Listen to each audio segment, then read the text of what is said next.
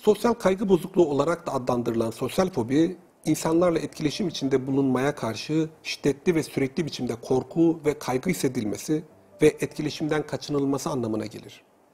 Sosyal fobisi olan kişi başkalarının yanında hata yapmak, rezil olmak, eleştirilmek, küçük düşmek, dalga geçilmekten ve utanç duymaktan çok korkar. Sosyal fobinin özel ve genel olarak iki tipi vardır.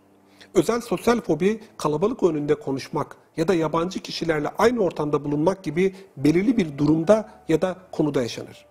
Genel sosyal fobi ise yemek yemek, su içmek gibi yaşamsal aktiviteleri bile başkalarının yanında yapmayı engelleyecek şekilde her zaman ve her durumda yaşanır. Sosyal fobide duyulan aşırı kaygı ve korkunun temelinde başkaları tarafından olumsuz değerlendirilme ve kabul görmeme korkusu vardır, utanç vardır.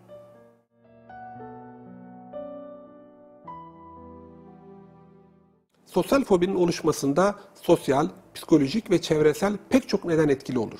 Genellikle çekingen kişilik bozukluğu ile birlikte görülen sosyal fobi yaşanan olumsuz deneyimler nedeniyle gelişir.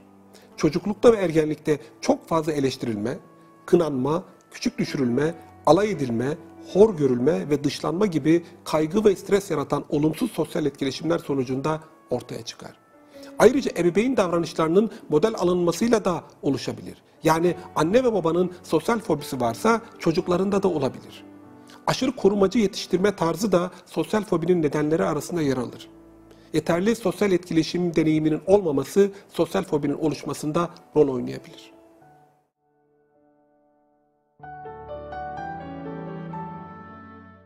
Sosyal fobisi olan kişi tanımadığı kimselerin yanında kendini son derece güvensiz hisseder.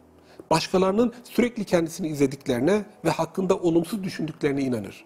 Sürekli tedirginlik yaşar. Özgüveni düşüktür ve eleştiriye aşırı derecede duyarlıdır.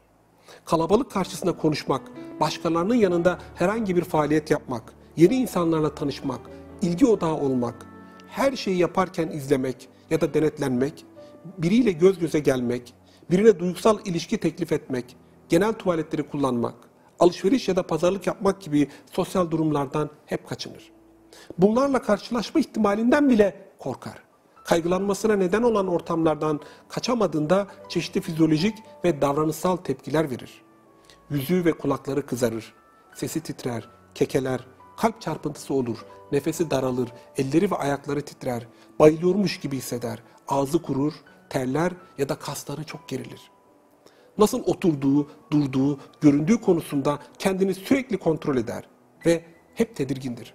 Fark edilmemek için sessiz ve geri planda kalmaya, gizlenmeye çalışır.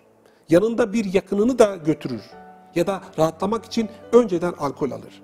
Ancak Bakon'un dediği gibi insan çekici acıların sınırı vardır fakat korkunun sınırı yoktur.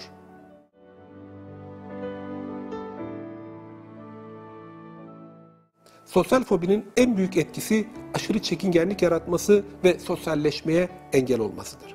Bu yönüyle hayatı çok büyük ölçüde kısıtlar. Sosyal fobisi olan kişi hayatın her alanında genellikle potansiyelinin gerisinde kalır. Sosyal ortamlardaki aktiviteleri yapmada, kendisini ifade etmede, arkadaş edinmede ve arkadaşlıklarını sürdürmede zorlanır. Mesleki performansında, sorumluluk almada, daha üst bir göreve atanmada sorunlar yaşar sosyal ortamda olma gerekliliği ortadan kalktığında büyük bir rahatlama hisseder. Bu rahatlamayı korunma isteğiyle başkalarıyla etkileşime girmekten kaçınma davranışı devam ettikçe sosyal fobi adeta bir kısır döngü içinde giderek büyür ve ilerler. Bunun sonucunda depresyon, anksiyete, panik atak gibi psikolojik sorunlar, alkol ve madde bağımlılığı görülebilir. Bu nedenle Montaigne'in dediği gibi korku bazen ayaklarımıza kanat takar bazen de ayaklarımızı yere çiviler. Ve bir tür kölelik olan korku zamanla bütün faziletlerin önüne duvar örer.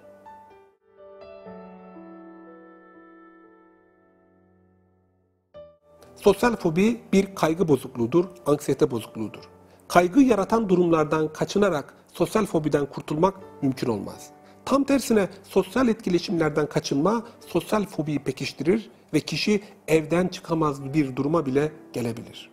Sosyal fobiden kurtulmak için psikoterapi ve ilaç tedavisi dışında EFT ve NLP teknikleri de kullanılabilir. Çünkü insanlar kendi yaşamlarını istedikleri doğrultusunda şekillendirebilmek ve gerek gördüğünde değiştirebilmek için ihtiyaç duyduğu tüm kaynaklara kendi içinde sahiptirler. Olumsuz duyguların nedeninin vücudun enerji sisteminin bozulması olduğu görüşünü temel alan ve akupunktur noktalarına hafif vuruşlarla uygulanan ve duygusal özgürleşme tekniği olarak bilinen EFT ile olumsuz düşünce ve duyguların zihinde yarattığı olumsuz enerji boşaltılarak enerji sisteminin dengesi sağlanır. Sosyal fobisi olan kişideki kaygı unsuru aslında içinde bulunduğu ortam ya da çevresindeki kişiler değil, onlarla ilişkili olumsuz duygularıdır. EFT teknikleriyle bu olumsuz duyguların boşaltılması sayesinde sosyal fobinin ardındaki kaygı ve korkuların ortadan kaldırılması sağlanabilir. Davranışların kaynağı olan bilinç dışındaki duygu ve fantezilerin bilinçli bir şekilde yönlendirilmesini amaçlayan ve sinir dili programlaması olarak bilinen NLP yöntemleriyle de sosyal fobinin üstesinden gelinebilir. Kişisel yetenek ve becerilerin açığa çıkarılıp pekiştirilmesinde kullanılan NLP, duygu, düşünce ve davranış kanıtlarını bilinçli hale getirip hedef odaklı ve yapıcı bir şekilde geliştirmede kullanılan bir dizi yöntemler sunar. Böylece sosyal fobinin ortaya çıkmasına rol oynayan bilinç dışındaki duygu ve fantezilerin farkına varılabilir ve bunlar bilinçli bir şekilde kontrol edilebilir. Çünkü NLP'nin altyapısını insanların çevrelerini nasıl algılayıp ne şekilde tepki gösterdikleri, nasıl iletişim kurdukları ve davranış kalıpları üzerinde yapılan araştırmalar oluşturur.